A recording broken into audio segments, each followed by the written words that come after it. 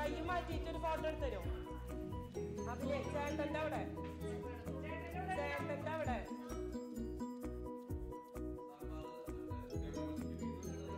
കൈ മാറ്റിയിട്ട് competition Kerala food ഗൈഡിൽ ഒരു കോമ്പറ്റീഷൻ ഉണ്ടായിരുന്നു.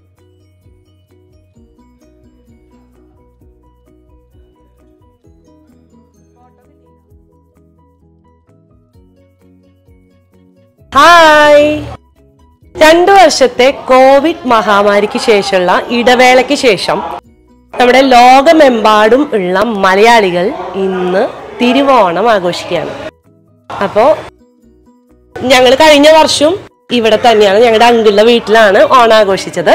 അപ്പൊ നിങ്ങൾ ഇതുപോലെ കൂട്ടാ ഞങ്ങളുടെ കൂട്ടായ്മയുടെ ഒരു ആഘോഷമാണല്ലോ ഓണം എന്ന് പറഞ്ഞു കഴിഞ്ഞാൽ അപ്പൊ ഞങ്ങൾ നാല് വീട്ടുകാരും ഒരുമിച്ച് ഭക്ഷണമൊക്കെ പാകം ചെയ്ത് കൊണ്ടുവന്ന് ഇവിടെ സദ്യയൊക്കെ വിളമ്പി ഇത് ഭക്ഷണം കഴിച്ചു തുടങ്ങി. അപ്പോൾ നിങ്ങളെല്ലാവരും സദ്യ കഴിച്ച് തുടങ്ങിയിട്ടുണ്ടാവും എന്ന് വിശ്വസിക്കുന്നു. സദ്യ കഴിച്ച് കഴിഞ്ഞിട്ടുണ്ടാവും. ചിലർ നല്ലൊരു ഉറക്കം പാസ്സാക്കിയിട്ടുണ്ടാവും. അപ്പൊ എന്തായാലും എല്ലാവർക്കും ലിസ്ബി കിച്ചന്റെയും കുടുംബത്തിന്റെയും ഓണാശംസകൾ.